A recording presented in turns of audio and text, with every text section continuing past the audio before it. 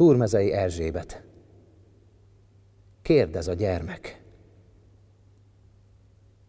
Ott fennlakott a csillagok felett, de amikor karácsony este lett, lejött a földre, mint kicsin gyerek. És ó, a hideg szívű emberek.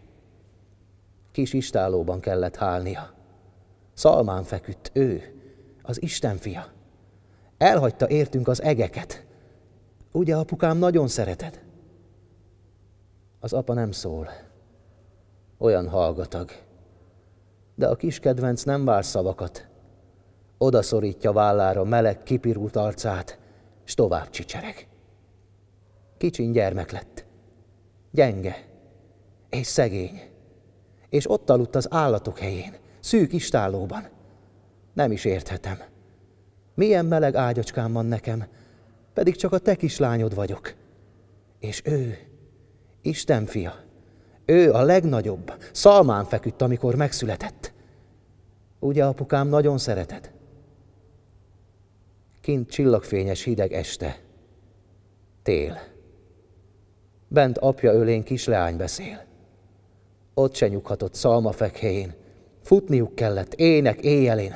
Halára keresték a katonák. Menekültek a pusztaságon át. Milyen keserves útjuk lehetett. Ugye, apukám, nagyon szereted? Az apa leteszi a gyermeket. Ugye szereted?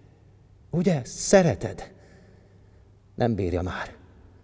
El kell rohannia. A jászóban fekvő Istenfia karácsonyesti képe kergeti.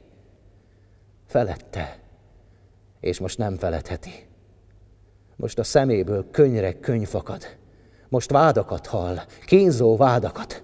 Elmenekülne még, de nem lehet. Most utolérte az a szeretet.